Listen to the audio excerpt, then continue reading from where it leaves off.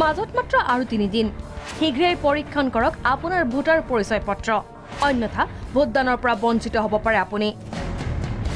ভাৰতীয় নিৰ্বাচন আয়োগে ভোটদাতাসকলৰ উদ্দেশ্যে গ্ৰহণ কৰিছে ভোটাৰ তালিকা পৰীক্ষণ কাৰ্যসূচী।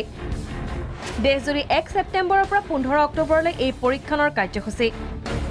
এই পৰীক্ষণ কাৰ্যসূচীৰ জৰিয়তে ভোটদাতাসকলে নিজৰ লগতে পৰিয়ালৰ ভোটাৰ পৰিচয় পত্ৰ বাধ্যতামূলকভাৱে পৰীক্ষণ কৰিব লাগিব। পৰীক্ষণৰ লগতে ভোটাৰ পৰিচয় পত্ৰত থকা বিসংগতিও শুধৰণি কৰিব পাৰিব ভোটদাতাসকলে। ভোটাৰ তালিকাত নতুনকৈ নাম সন্নিৱিষ্ট কৰিব পাৰিব। লগতে মৃত ব্যক্তিৰ নামো ভোটাৰ তালিকাৰ পৰা কৰ্তন কৰিব পাৰিব পৰীক্ষণৰ সময়ত। কিন্তু কেনেকৈ কৰিব আপোনাৰ ভোটাৰ পৰিচয় পত্ৰৰ পৰীক্ষণ? অনলাইন অথবা অফলাইনৰ জৰিয়তে ভোটাৰ পৰিচয় পত্ৰ পৰীক্ষণ কৰিব পাৰিব আপুনি। ভোটাৰ হেল্পলাইন মোবাইল এপৰ জৰিয়তে এন বি এছ পি পৰ্টেলৰ জৰিয়তে ভোটাৰ সহায়তা কেন্দ্ৰৰ জৰিয়তে voter helpline number one nine five জিৰ'ৰ জৰিয়তে।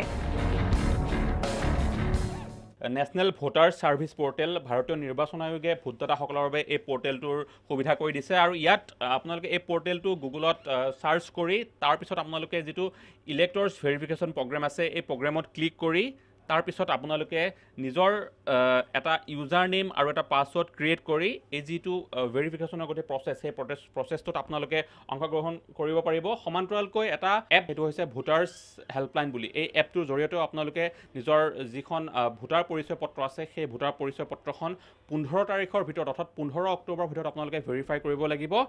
ভিডিঅ' জাৰ্নেলিষ্ট পংকজ আৰু আজাহৰ সৈতে মই ইমৰান আলী প্ৰাগ নিউজ গুৱাহাটী।